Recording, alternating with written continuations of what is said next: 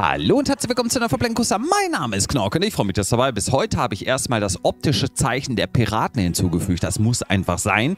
Und dann habe ich einige Fässer platziert. Und wenn ich einige sage, meine ich viele. Es sieht jetzt so ein bisschen, ja, das fällt mir jetzt gerade ein, pass auf. Das sieht jetzt so ein bisschen aus wie aus dem Asterix und Obelix Film bei den Briten. Da ist ja auch das Zaubertrankfass weggekommen, beziehungsweise beschlagnahmt worden. Und dann ist es irgendwie in so einen Weinkeller ja, weiß ich nicht, versteckt worden, meine ich. Es ist schon einige Zeit her, als ich den Film gesehen habe. Aber ich erinnere mich noch an ein paar Szenen, zum Beispiel, wo dann die Römer die Verkostung machen und dann stockbesoffen, sturzbetrunken da durch diesen Weinkeller laufen und dann alle jedes Wein probieren, bis die dann irgendwie versuchen, dieses äh, Fass zu finden mit dem Zaubertrank. Auf jeden Fall ein sehr geiler Film. Asterix und Obelix sowieso.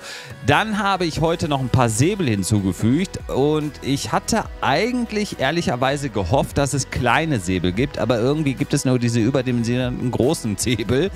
Im Tool Creation Set gibt es garantiert welche, aber davon sehe ich ja natürlich ab. Und auf der, ja, wie nennt man das eigentlich? Also es ist ja eigentlich ein Geländer, aber da ist, ja, warte mal, da kommen zwei Geländer zusammen. Die Zusammenführung der Geländer, ja. Da habe ich dann auch noch mal ein paar Fässer platziert. Also es soll auf jeden Fall so eine kleine, weiß ich nicht, Whisky-Weinsammlung der Piraten auf jeden Fall darstellen. Hm, gefällt mir auf jeden Fall. Und heute, muss ich ganz kurz sagen, habe ich Beleuchtung hinzugefügt. Ja, ich nehme das schon mal vorweg. Und die Beleuchtung war mehr oder weniger leicht. Und, und, wenn ich leicht sage, war es sehr schwer. Oh, das Steuerrad musste natürlich auch platziert werden. Ich werde natürlich noch hier und da ein paar Dekorationen platzieren. Ne, da werden noch ein paar kommen. Aber ich hatte mir gedacht, ich hatte heute irgendwie voll Bock auf Beleuchtung. Und diese Lampen passen optisch sehr gut hin und visuell. Also ja, optisch und visuell ist eigentlich das gleiche. Aber ich meine jetzt von der Leuchtkapazität und Leuchtkraft her. Ne, also die passen wirklich. Also vom Ambiente her sind die sensationell. Und das ist noch nicht das, wovon ich gerade gesprochen hatte, das Schwere, sondern das Schwere kommt gleich und das steht auch im Titel. Also das wird jetzt richtig gleich schwer. Denn ich habe für die ganze Folge 39 Minuten gebraucht. 39 Minuten für ein paar Fässer, die waren ja relativ schnell platziert. Dann ein paar Lampen, die waren auch relativ schnell platziert.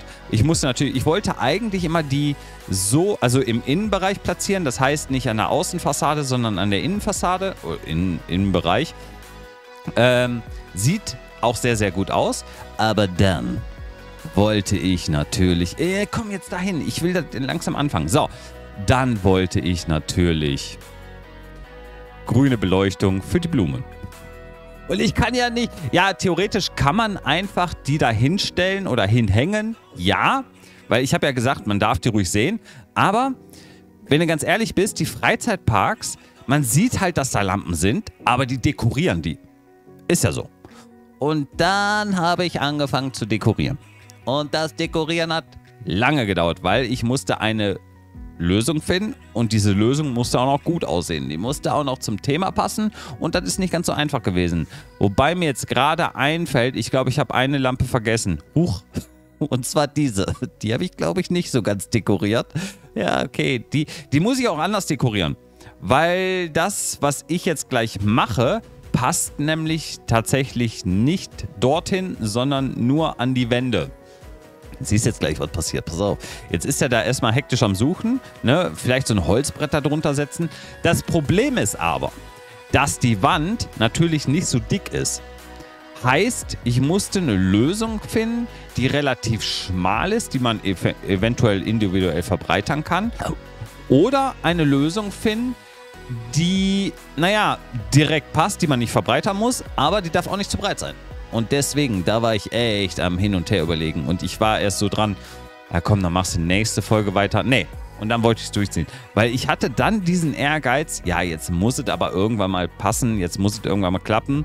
Und Holz war schon mal ein guter Ansatz, ein sehr, sehr guter Ansatz, aber nicht in Plankenform. Pass auf, da hat mich tatsächlich was gestört. Und zwar, dass das Licht gegen die Planke kam. Das hat mich tatsächlich ein bisschen gestört. Und ja, ich wusste ehrlich gesagt nicht, wie ich das komplett verkleiden soll. Weil ich hätte, ich hatte keine Planken, die ich rechts und links setzen konnte, die kleiner waren. Weil sonst hätte ich so ein Quadrat gehabt und das sähe natürlich auch wieder doof aus. Und ich habe alles ausprobiert. Fast alles. Also ich habe sämtliche Kreationen ausprobiert, aber ich glaube, ich habe da eine Lösung gefunden, die okay ist. die wirklich okay ist. Denn, äh, jetzt mach hin, der, pass auf, das sieht jetzt so ein bisschen aus wie so ein Ikea-Regal, ne? Und da dachte ich mir, nee, nee. Ganz ehrlich, die, die Attraktion ist für meine Verhältnisse gut thematisiert. Und das wollte ich auch beibehalten. Und dann sah das mit diesem Ikea-Regal nicht so ganz prall aus. Und dann dachte ich mir, ach, setz die doch in so ein Fass rein. Das Fass ist rund, das Fass ist nicht zu breit, das Fass ist optimal hoch, sieht optisch sehr gut aus, passt eigentlich perfekt zu dieser Lampe und ich wollte diese Lampe. Ich wollte keine andere Lampe. Ich habe ja schon des Öfteren gesagt, die gibt einfach ein ultra gutes Licht ab. Das Problem bei diesem Fass ist, es ist rund. Ja, jetzt wird der ein oder andere denken, Fässer sind halt rund. Ja, das stimmt. Aber die Lampe, die ich da drin verbaut habe, sollte mittig platziert sein, hatte ich mir überlegt. Und, pass auf, jetzt kommt's. Die sollte nicht zu sehen sein. Ja, mach das mal. Versuch das mal. Das ist nicht ganz so einfach. Ach so, ja, ein bisschen Realismus musste natürlich auch sein. Und da hatte ich mich halt für die Haken wieder entschieden. Nur der Haken an der ganzen Sache war, dass die halt irgendwie nicht miteinander harmonieren wollten. Und dann fiel mir ein, ach ja, die kannst du ja eigentlich, guck mal, entweder so setzen, aber das war dann nicht symmetrisch. Pass auf. Und dann fiel mir eine ganz gute Lösung eigentlich ein. Wir drehen die einfach. Also diesen Haken im Fass drehe ich einfach um 180 Grad. Et voilà. Hast du da einen mittig zentrierten Haken, der die ganze Sache hält. Und ja, auf jeden Fall, da habe ich echt ein bisschen hin und her überlegt. Ich hatte erst überlegt, die weiter nach vorne zu sitzen, aber ich wollte die mittig haben, ne, die Lampe. Und ja, dann hatte ich überlegt, ach so, nehmen wir ein paar Bretter, aber Bretter sind zu lang. Bretter sind einfach viel zu lang für die Wand. Und da ich ja nicht überall, ich wollte ja die gleichen Fässer natürlich überall haben, da ich, ich glaube, da, da, also in dieser Situation hatte ich einen Hohlraum hinter aber in der anderen nicht. Und deswegen konnte ich das nicht machen. Dann hatte ich überlegt, ach komm, nimmst du diese? Weil da ist nämlich das Praktische, die gibt es in 1 Meter Formaten. Ich hatte auch nach 1 Meter gesucht, da siehst du aber da wird irgendwie was ganz anderes angezeigt. Also nicht 1 Meter Länge, sondern 1 Meter, keine Ahnung was. Ich weiß, du, Umfang. Ich habe keine Ahnung, was da angezeigt wurde. Passte irgendwie nicht. Ja, und dann kam ich zu der Lösung, aber die war zu breit. Also die fand ich ein bisschen zu dick. Und ja, ich war echt am Herumexperimentieren, ausprobieren, was am besten aussieht, weil das Problem war auch, also Platz nach hinten, dann muss das optisch gut aussehen. Also das heißt, es soll nicht irgendwie so reinglitschen. Okay, muss natürlich ein bisschen reinglitschen, aber dann muss das auch passen. Das muss optisch irgendwie passen. Dann habe ich überlegt, die Lampe nach unten zu ziehen, aber dann war ja der Effekt, äh, naja, so hätte ich halt die Halterung hinbekommen, ja, aber dann hätte die Lampe nach unten rausgeguckt. Und dann wäre das fast eigentlich überfällig, äh, hinfällig gewesen. Das hätte ich ja gar nicht gebraucht. Also hatte ich mich für eine Lösung entschieden. Ich weiß nicht, wann der, jetzt glaube ich, wird er langsam dazu kommen. Ich glaube, der findet jetzt gerade die Lösung. Und das sieht eigentlich ganz gut aus. Der Übergang ist eigentlich ganz gut. Ist so ein Abstandshalter zur Wand, passt, wackelt und hat Luft. So, und das Grüne ist auch versteckt.